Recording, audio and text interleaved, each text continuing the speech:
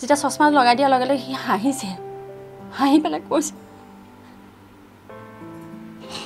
ভালকৈ দেখিছোঁ মা আৰু papa In the small village of Nauboisa in Lakhimpur district, a wonderful story of hope emerges. For 18 long years, young Amrit Pratim Bailung lived in a blurry world, unable to see clearly because of a serious eye problem.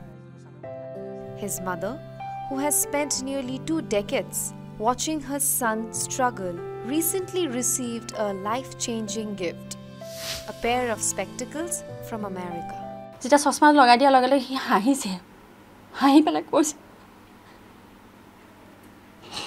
ভালকৈ দেখিছোঁ মা আৰু papa চবকে দেখিছোঁ যেতিয়া তাক ৱালৰ পঢ়িবলৈ দিছে সি পাঁচটা লাইন সি ধুনীয়াকৈ পঢ়ি শুনাইছে বহুত ভাল লাগিছে তেতিয়া For Amrit, this moment was years in the making. He recalls the struggles his family faced in seeking help from hospitals in Nepal to local clinics, only to be told that his condition could not be treated.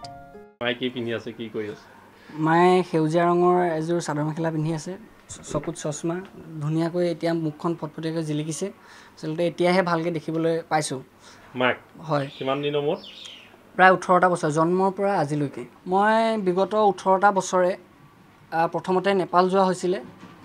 নেপালত মোৰ ৰেটিনাৰ problem বুলি ক'লে কিন্তু তাৰ এটা উপায় মোক দিব নোৱাৰিলে। মই প্ৰথমতে বহুকেইগৰাকী ব্যক্তিৰ ওচৰলৈ গৈছিলোঁ কিন্তু তেওঁলোকে চশমাযোৰ দিয়াত অস্বীকাৰ কৰিলে। বা তেওঁলোকে কোনো মোক উপায় বাট নেদেখুৱালে।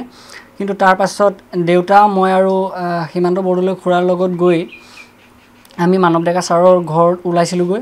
তেওঁ প্ৰথমে মোলৈ চালে আৰু তেওঁ ৰিপৰ্টখিনি চালে। ৰিপৰ্টখিনি চাই তেওঁ ভালদৰে মোৰ লগত মত বিনিময় কৰিলে। কথাখিনি পাতি ছাৰে চশমাযোৰ হৈ যাব বুলি কৈ দিলে। BJP MLA Manav Deka stepped in to help. Understanding the urgency of Amrit's situation, he took swift action to secure the necessary support.